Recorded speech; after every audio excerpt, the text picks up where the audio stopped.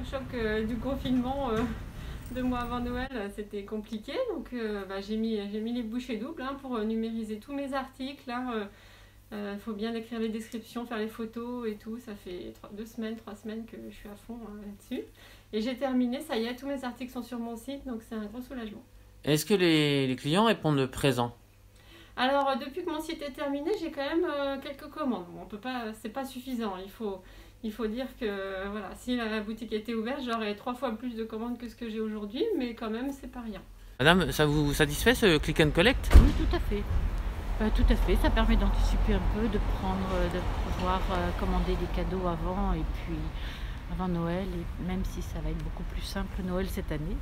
Mais ça permet effectivement de venir commander, puis de faire vivre les petits commerces dont on est désolé de les voir euh, payer seuls un peu les pots cassés.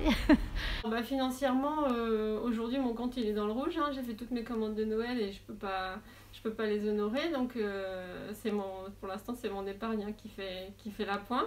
Et dans la rue, là, entre commerçants, euh, comment est l'ambiance? Ah, La plupart des commerçants sont un peu dans la déprime quand même. hein. Quand on discute avec eux, c'est très dur. Mais après, entre nous, on se soutient, on se serre les coudes. Moi, ceux qui n'ont pas encore fait de site, je leur donne des conseils, je leur dis comment j'ai fait. On fait le maximum pour, euh, pour avoir de, de la résilience, hein, pour se surmonter les manches. Et puis, et puis Stéphanie de la boutique La Cabane à Jouets.